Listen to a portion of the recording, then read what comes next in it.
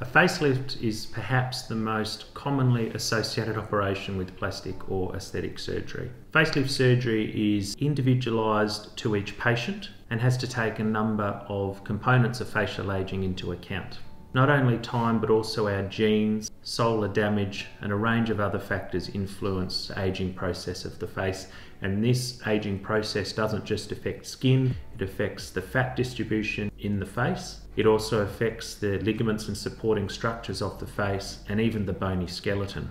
Clearly, a facelift cannot address all of these components, but it is a very powerful tool to create a sustained, more youthful appearance to the face. When we're younger, we have a classic heart-shaped distribution of soft tissues in the face, and with time we lose this shape as the soft tissues descend. A facelift aims to re-suspend or tighten the supporting ligamentous network system of the face, which we call the superficial musculoaponeurotic system.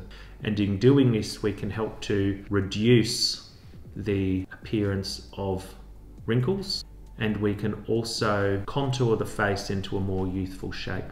It's important to note that a facelift doesn't target the skin quality and other procedures such as resurfacing may be required.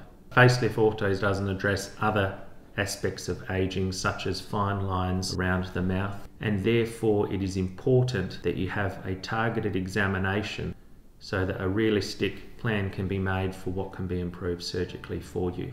A facelift is often combined with other procedures such as the use of anti-wrinkle injections, fillers or grafting of fat. A facelift is also commonly combined with a neck lift, where the tissues of the neck are tightened and the shape of the neck is corrected to give it a more youthful appearance. Not everyone is suitable for a facelift. In particular, patients who smoke or have uncontrolled high blood pressure are at significant risk for complications from facelift surgery. A facelift is an operation which requires a general anaesthetic and takes a number of hours, and post-operatively you'd need to stay at least one night in a hospital. To understand what facelift surgery can offer and to develop a plan that's suitable for you if surgery is appropriate requires a thorough consultation taking into account your goals and expectations from surgery and what we can offer.